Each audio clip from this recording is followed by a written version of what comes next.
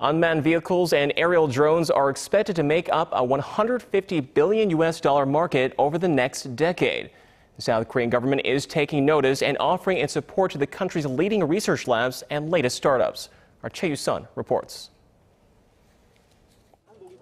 While visiting the Korea Aerospace Research Institute on Friday, President Park took a spin in an unmanned ground vehicle or driverless car developed by Hyundai Motor. She also checked out the country's latest drone technology.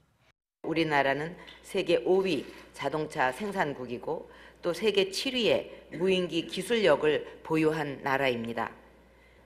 제대로 된 전략을 마련해서 국가적 역량을 집중한다면 얼마든지 선도 업체들을 따라잡을 수 있을 만, 있는 만큼 For example, drones were recently used for search and recovery in quake-stricken Nepal, and the U.S. has developed a special model that travels inside a hurricane to get real-time data.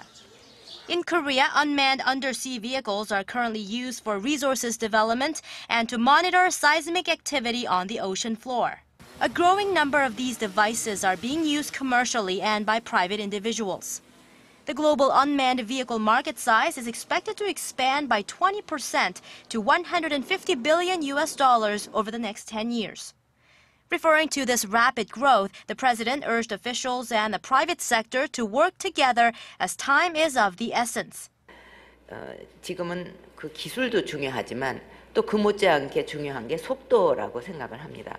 Korea's small drones are already losing price competitiveness against Chinese rivals, and developed nations are moving ahead with improvements to the technology.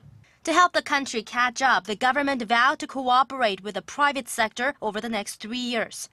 The military is expected to start using Korea's high-speed tilt-rotor drone next year, and the government has offered more support to Korean SMEs that develop key components for driverless cars.